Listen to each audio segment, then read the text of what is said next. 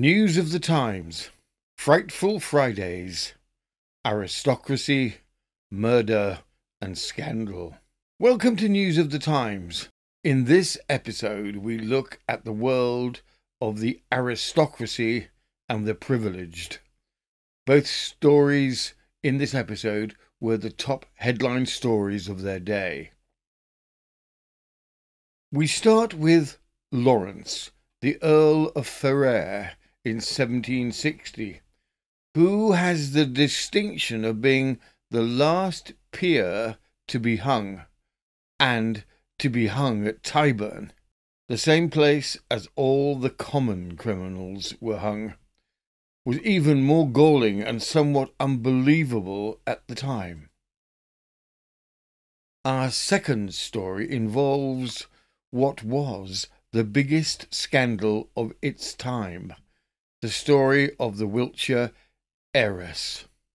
Fabulously rich and quite beautiful, fate plays a hand on making her the sole recipient of a fortune estimated at the time worth some 35 million in 2023. She was chased by the future King of England, George IV, but in truth she could have had any man she wanted. She chose one of the most renowned wastrels of his day. Her ensuing unhappiness at his cruelty was believed to have helped her die relatively young. Aristocracy, murder, and scandal is today's Frightful Fridays episode. Laurence Earl of Ferrers. This famous case made legal history as the last peer to be hanged. The Earl was infamous for his quick and brutal temper. From the Newgate calendar, the 5th of May, 1760, Laurence Earl of Ferrers, executed at Tyburn on the 5th of May, 1760, for the murder of his steward after a trial before his peers. Laurence Earl of Ferrers was descended of an ancient and noble family. The royal blood of the Plantagenets flowed in his veins, and the Earl gained his title in the following manner. In the year 1711, Robert, Lord Ferrers, was created by Queen Anne Viscount Tamworth and Earl Ferrers, and it appears that although the estates of the family were very great, they were vastly diminished by the provisions which the Earl thought proper to make for his numerous progeny, consisting of fifteen sons and twelve daughters born to him by his two wives. At the death of the first Earl, his title descended to his second son, but he, dying without issue, it went in succession to the ninth son, who was childless, and the tenth son, who was the father of the Earl Laurence, the subject of the present sketch. This nobleman was married in the year 1752 to the youngest daughter of Sir William Meredith, and although his general conduct, when sober, was not such as to be remarkable, yet his faculties were so much impaired by drink that, when under the influence of intoxication, he acted with all the wildness and brutality of a madman. At Derby races in the year 1756, Lord Ferrers ran his mare against Captain M's horse for fifty pounds and was the winner. When the race was ended, he spent the evening with some gentlemen, and in the course of conversation, the captain, who had heard that his lordship's mare was with foal, proposed in a verbose manner to run his horse against her at the expiration of seven months. Lord Ferrers was so affronted by this circumstance, which he conceived to have arisen from a preconcerted plan to insult him, that he quitted Derby at three o'clock in the morning and went immediately to his seat at Stanton Harold in Leicestershire. He rang his bell as soon as he awakened, and a servant attending, he asked if he knew how Captain M came to be informed that his mare was with foal. The servant declared that he was ignorant of the matter, but the groom might have told it. And the groom, being called, he denied having given any information respecting the matter. Invitation rejected. Previous to the affront presumed to have been given on the preceding evening, Lord Ferrers had invited the captain and the rest of the company to dine with him as on that day, but they all refused their attendance, though he sent a servant to remind them that they had promised to come. Lord Ferrers was so enraged at this disappointment that he kicked and horsewhipped his servants and threw at them such articles as lay within his reach. The following will afford a specimen of the brutality of Lord Ferrers' behaviour. Some oysters had been sent from London, which not proving good, his lordship directed one of the servants to swear that the carrier had changed them. But the servant declined to take such an oath. The earl flew on him in a rage, stabbed him in the breast with a knife, cut his head with a candlestick, and kicked him in the groin with such severity that he was incapable of a retention of urine for several years afterwards. Lord Ferrers' brother and his wife, paying a visit to him and his countess at Stanton Harold, some dispute arose between the parties, and Lady Ferrers being absent from the room, the Earl ran upstairs with a large clasp knife in his hand and asked a servant whom he met where his lady was. The man said, in her own room, and being directed to follow him thither, Lord Ferrers ordered him to load a brace of pistols with bullets. This order was complied with, but the servant, apprehensive of mischief, declined priming the pistols, which Lord Ferrers, discovering, swore at him, asked him for powder, and primed them himself. He then threatened that if he did not immediately go and shoot his brother, the captain, he would blow his brains out.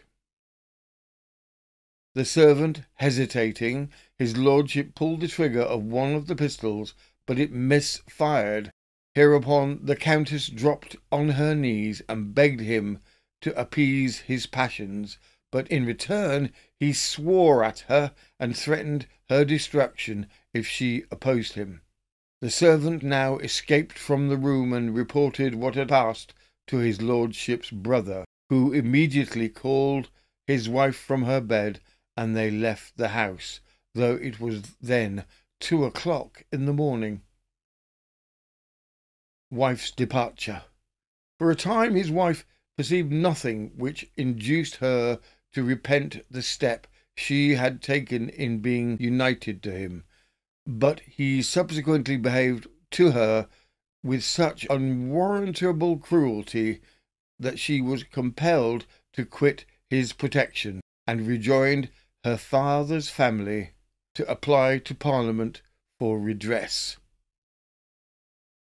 An act was in consequence passed allowing her a separate maintenance to be raised out of her husband's estate, and trustees being appointed, the unfortunate Mr. Johnson, who fell a sacrifice to the ungovernable passion of Lord Ferrers, having been bred up in the family from his youth, and being distinguished for the regular manner in which he kept his accounts, and his fidelity as a steward, was proposed as receiver of the rents for her use. He at first declined the office, but subsequently, at the desire of the Earl himself, consented to act, and continued in this employment for a considerable time. His lordship at this time lived at Stanton, a seat about two miles from Ashby de la Zouch in Leicestershire, and his family consisted of Mrs. Clifford, a lady who lived with him, and her four natural daughters, besides five men servants, exclusive of an old man and a boy, and three maids. Mr. Johnson lived at the house belonging to the farm which he held under his lordship, called the Lount, and about half a mile distant from Stanton. It appears that it was his custom to visit his noble master occasionally to settle the accounts which were placed under his care, but his lordship gradually conceived a dislike for him, grounded upon the prejudice raised in his mind on account of him being the receiver of the countess's portion, and charged him with having combined with the trustees to prevent his receiving a coal contract. From this time he spoke of him in opprobrious terms, and said he had conspired with his enemies to injure him, and that he was a villain. And with these sentiments he gave him warning to quit an advantageous farm which he held under his lordship. On Sunday, the 13th of January, 1760, Lord Ferrers went to the Lount, and, after some discourse with Mr. Johnson, ordered him to come to him at Stanton on the Friday following, the 18th, at three o'clock in the afternoon. His lordship's usual dinner hour was two o'clock, and soon after the meal was disposed of on the Friday, he went to Mrs. Clifford, who was in the still house, and desired her to take the children for a walk. She accompaningly prepared herself and her daughters, and, with the permission of the Earl, went to her father's at a short distance, being directed to return at half past five. The men servants were next dispatched on errands by their master, who was thus left in the house with the three females only. In a short time afterwards, Mr. Johnson came according to his appointment, and was admitted by one of the maidservants named Elizabeth Bergland.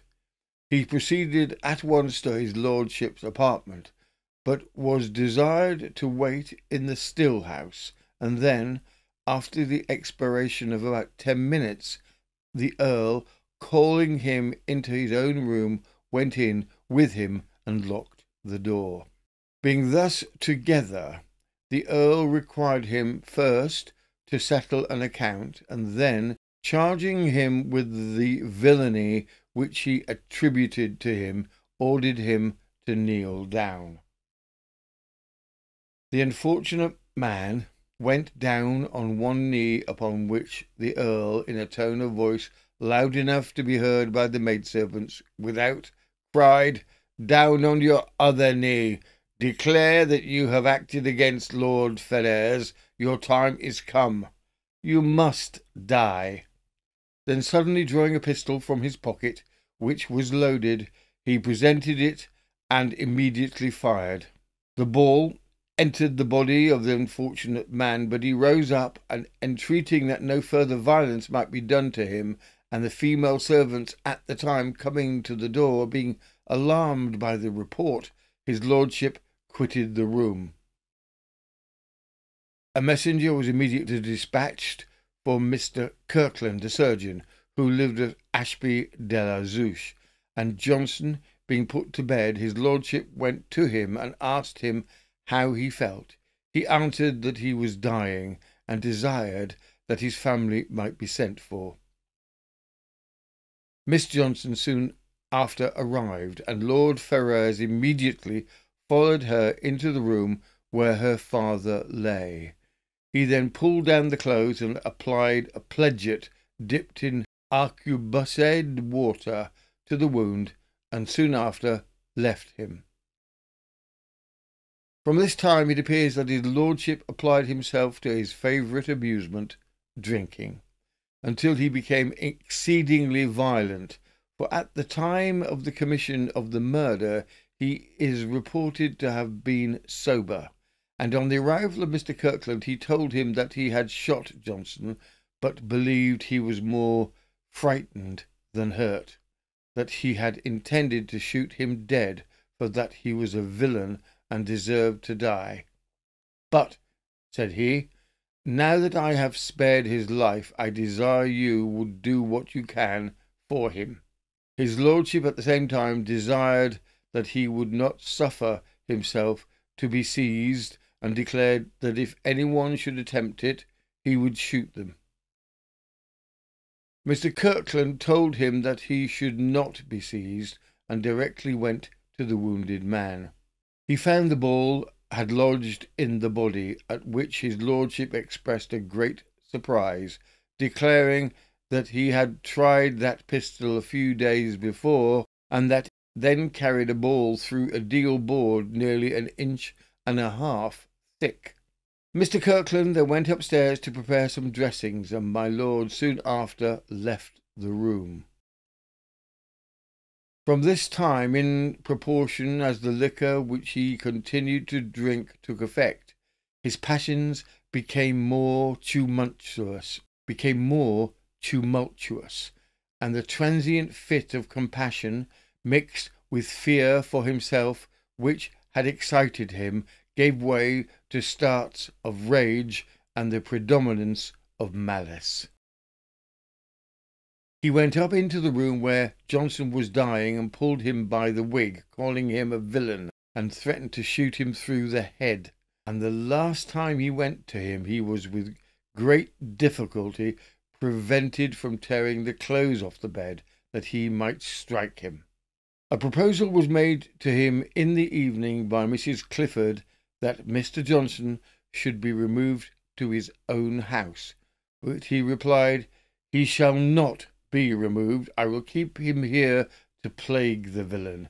He afterwards spoke to Miss Johnson about her father and told her that if he died he would take care of her and of the family, provided they did not prosecute. When his lordship went to bed, which was between eleven and twelve, he told Mr. Kirkland that he knew he could, if he would, set the affair in such a light as to prevent his being seized, desiring that he might see him before he went away in the morning, and declaring that he would rise at any hour. Mr. Kirkland, however, was very solicitous to get Mr. Johnson removed, and as soon as the Earl had gone, he set about carrying his object into effect. He, in consequence, went to Lount, and, having fitted up an easy chair with poles by way of a sedan, he procured a guard, returned at about two o'clock, and carried Mr. Johnson to his house, where he expired at about nine o'clock on the following morning. The neighbours now began to take measures to secure the murderer, and a few of them having armed themselves, set out for Stanton, and as they entered the yard they saw his lordship, partly undressed, going towards the stable, as if to take out a horse. One of them, named Springthorpe, then advancing towards his lordship with a pistol in his hand, required him to surrender, but the latter putting his hand toward his pocket, his assailant imagining that he was feeling for some weapon of offence, stopped short and allowed him to escape into the house. A great concourse of people by this time had come to the spot, and they cried out loudly that the Earl should come forth. Two hours elapsed, however, before anything was seen of him, and then he came to the garret window and called out, How is Johnson? he was answered that he was dead. But he said it was a lie, and desired that the people should disperse. And then he gave orders that they should be let in and furnished with victuals and drink. And finally he went away from the window, swearing that no man should take him. The mob remained on the spot, and in about two hours the Earl was descried by a collier named Court Curtis, walking on the bowling green, armed with a blunderbuss, a brace of pistols, and a dagger. Curtis, however, was far from being intimidated by his bold appearance, walked up to him and his lordship, struck with the resolution he displayed, immediately surrendered himself and gave up his arms, but directly afterwards declared that he had killed the villain and gloried in the act. He was instantly conveyed in custody to a public house at Ashby, kept by a man named Kinsey, and a coroner's jury having brought in the verdict of wilful murder against him, he was on the following Monday committed to the custody of the keeper of the jail at Leicester.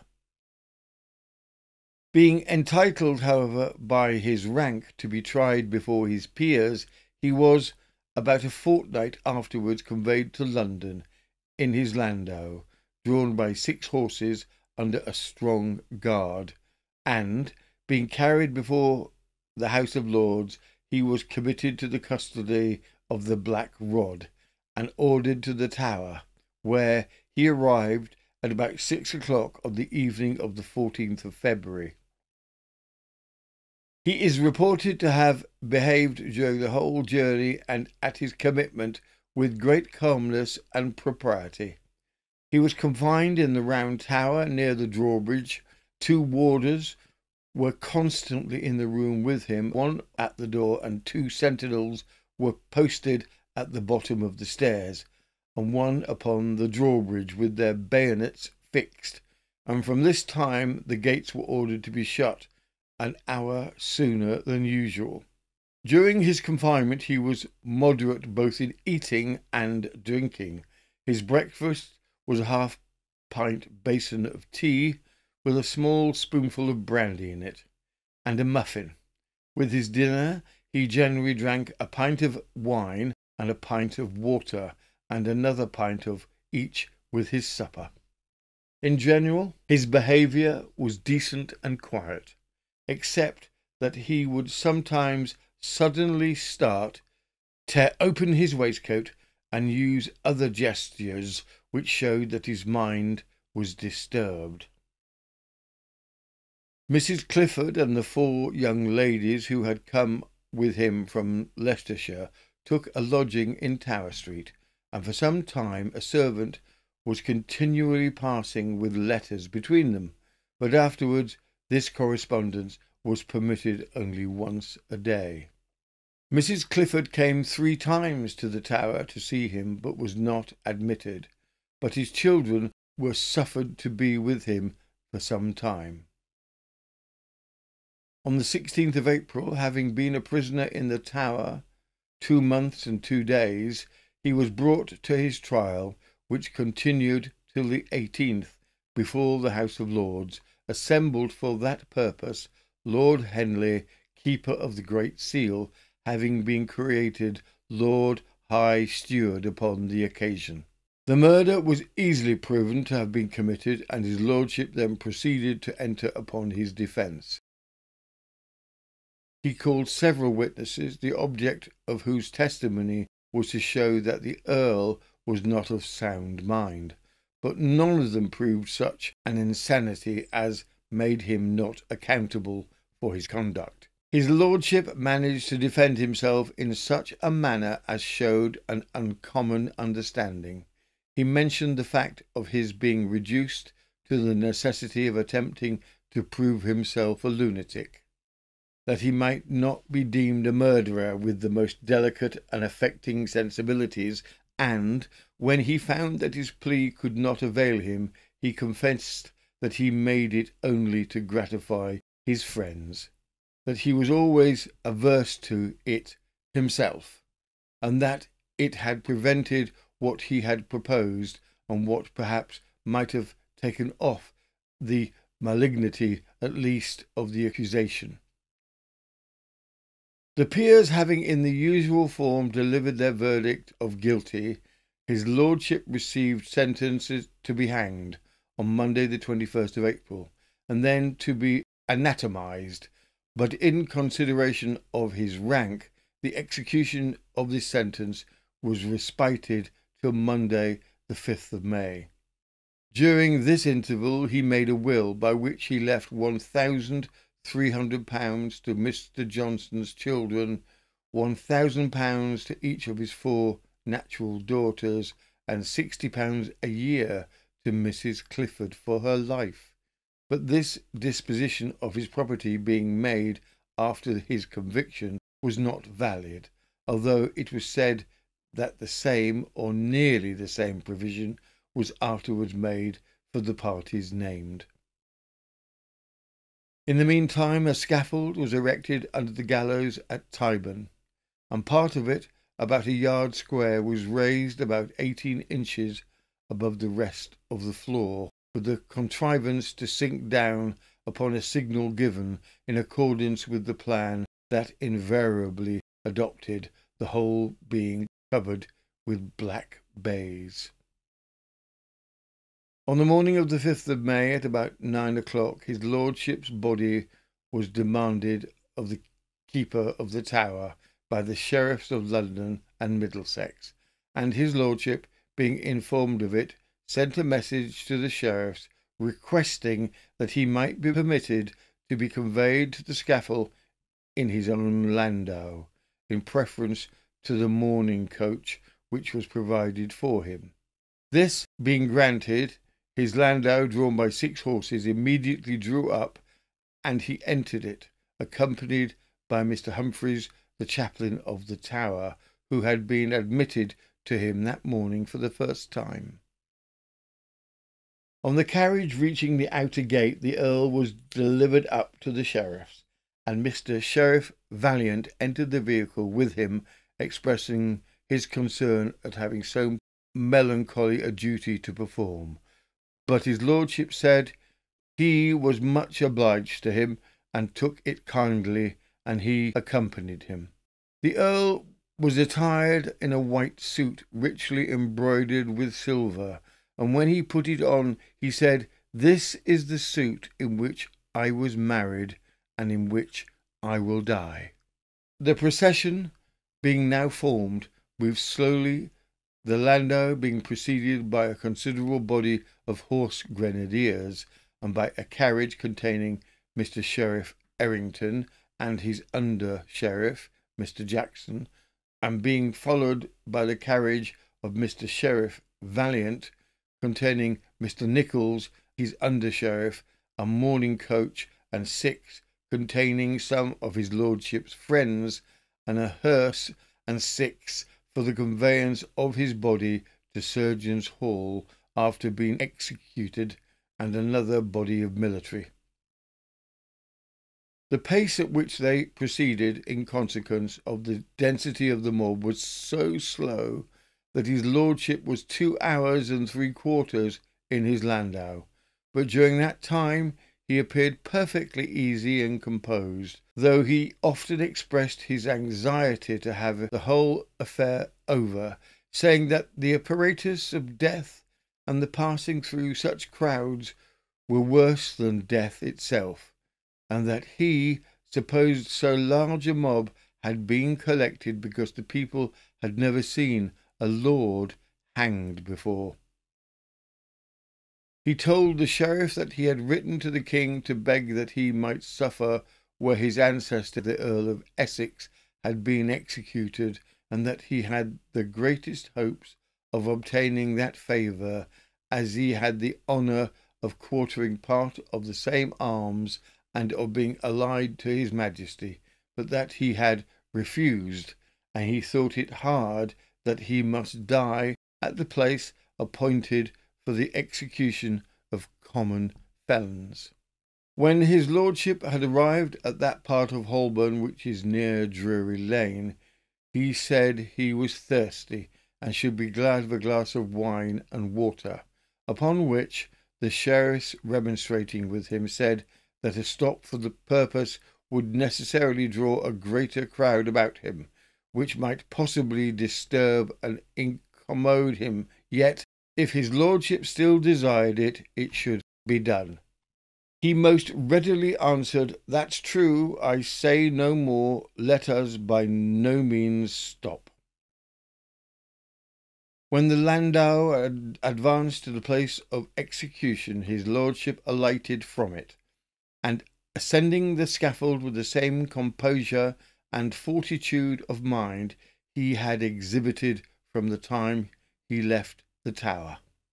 Soon after he had mounted the scaffold, Mr. Humphreys asked his lordship if he chose to say prayers, which he declined. But upon him asking if he did not choose to join him in the Lord's Prayer, he readily answered he would, for he always thought it a very fine prayer.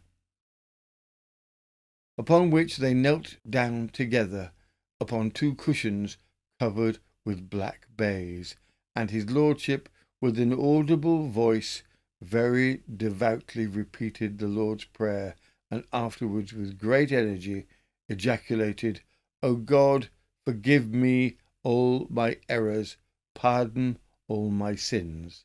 His lordship then, rising, took his leave of the sheriff and the chaplain, and, after thanking them for their many civilities, presented his watch to Mr. Sheriff Vaillant, of which he desired his acceptance, and requested that his body might be buried at Breedon or Staunton in Leicestershire.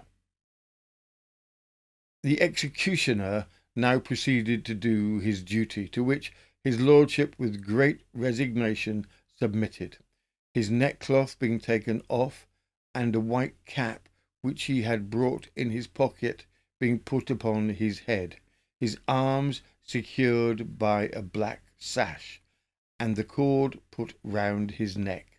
He advanced by three steps to the elevated part of the scaffold, and, standing under the crossbeam which went over it, which was also covered with black baize, he asked the executioner, Am I all right? Then the cap was drawn over his face, and, upon a signal given by the sheriff, for his lordship, upon being asked before, declined to give one himself, that part upon which he stood instantly sank down from beneath his feet, and he was launched into eternity on the 5th of May, 1760. The accustomed time of one hour being past, the coffin was raised up with the greatest decency to receive the body, and, being deposited in the hearse, he was conveyed by the sheriffs with the same procession to Surgeons' Hall to undergo the remainder of the sentence. A large incision was then made from the neck to the bottom of the breast, and another across the throat. The lower part of the belly was laid open and the bowels taken away. It was soon afterwards publicly exposed to view in a room up one pair of stairs at the hall, and on the evening of Thursday, the 8th of May, it was delivered to his friends for interment. This story was given as a regular example of those of the privileged class were equally answerable to the law. Our next story involves a scandal which was the subject of speculation at the time, the sad story of the Wiltshire heiress. Catherine Tylney Long, 1789 to 1825, was beautiful and exceedingly rich. With the death of her brother, the whole of the considerable fortune of estates, estimated at the time of being worth three hundred thousand pounds, or approximately thirty-four million pounds today, landed in her lap. As to be expected, she was ardently pursued for marriage. Her admirers, including the Duke of Clarence, the future King William IV, who had amassed considerable debt, If Catherine had accepted his proposal, she would have eventually become Queen of England with their offspring in line for the throne. Instead, Catherine chose a rogue, known drunk man about town, William Wesley Pole, who had his own staggeringly high accumulated debts. William, an Anglo-Irish nobleman, was, was the nephew to the Duke of Wellington. He was a known dandy and good friends with Beau Brummell and Lord Byron.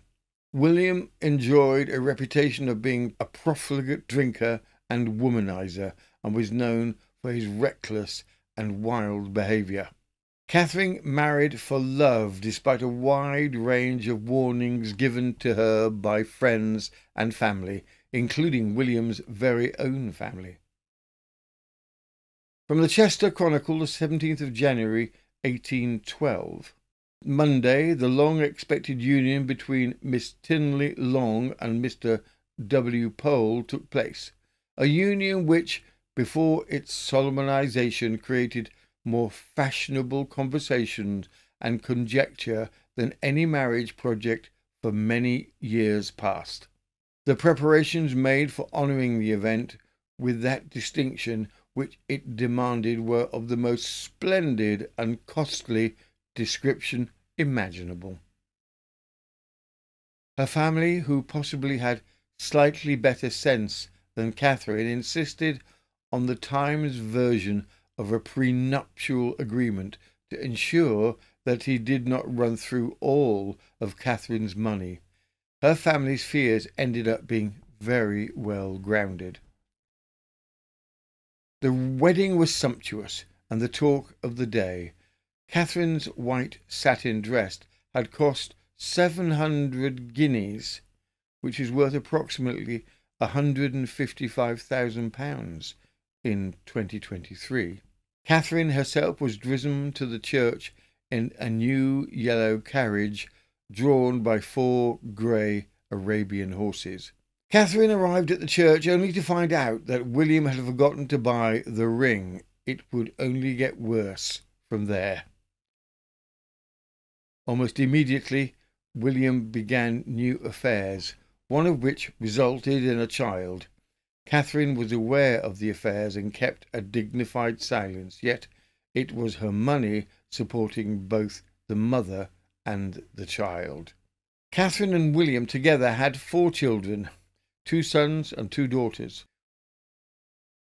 William's new debts eventually pursued him to the point where he needed to leave the country. He escaped to France with Catherine and her three small children following him.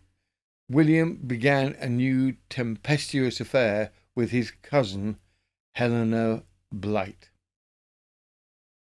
However, in this case, he moved his mistress into the house which he shared with Catherine, his wife. By all accounts, William and his cousin and mistress Helena would torment and provoke Catherine with open displays of affection toward each other and by belittling Catherine in front of the servants. The public displays became more and more explicit, and sometimes with Catherine present to see all. It is around this time that letters from Catherine to her sister indicate that Catherine had picked up a venereal disease from William. Attempts were made by William to have the children side with him over their mother. One story recounts how William had attempted to get the two boys drunk, then aged 10 and 8 respectively. He urged the boys to spend time with the grooms where they picked up obscene language and adult themes. The boys were encouraged to bed women, young, old, and at your full pleasure. Catherine attempted to control the boys, which only served to push the children towards their father leaving Catherine isolated. In 1825, in order to pay the outstanding debts, Catherine placed her home Wanstead House up for sale. The sale included the auctioning off of the contents. The house itself received no interest of being bought. As such, it was pulled down, board by board, with the timber and fabrics being sold. The house, which had cost some £360,000 to build, was sold off piecemeal at a price roughly of £10,000. One of Catherine's last acts was to make her husband ward of the Chancery. Her will completely disherited her husband, who she by now was attempting to seek a divorce from. Catherine died at the relatively young age of 35. The press stated that she had died of a broken heart, but historic speculation had speculated that the cause would have been related to the venereal disease she had received from her husband. In her will, the children were left in the care of her sisters. The eldest, on whom the whole of her fortune now resided, was actively pursued by his father in attempts to take control and ownership of the boy. These attempts were unsuccessful. William died in debt, supposedly from heart disease, living on a small allowance of £10 a week from family. His obituary was lacking in any hint of sorrow of his demise. From the Morning Chronicle on the 4th of July 1857, a spendthrift, a profligate, and a gambler in his youth, he became debauched in his manhood, redeemed by no single virtue, adored by no single grace, his life gone out even without a flicker of repentance. That concludes this episode of Frightful Fridays, the aristocracy scandal and murder, we very much hope you enjoyed the show. If you did enjoy the show, please subscribe. Our goal is 1,000 subscribers, and with the fantastic support of our wonderful News of the Times community, we are making great progress towards that goal. We upload four days a week. Saturdays are Serial Killer Saturdays, where we do an in depth look at a serial killer from our extensive database. The time spans of these ranges from as early as the mid 16th century to the 21st century and encompasses men, women, children, and couples who kill. Mondays are Murderous, where we investigate in depth a historical murder. Wednesdays are wicked in this new series that will explore outrages, organizations, bloody locations, and shocking events with a bit of murder and mayhem sprinkled in. And Fridays are frightful, where we pull together several stories with a similar theme. From all of us at the News of the Times team, thank you again for watching or listening. This has been News of the Times, and I am Robin Coles.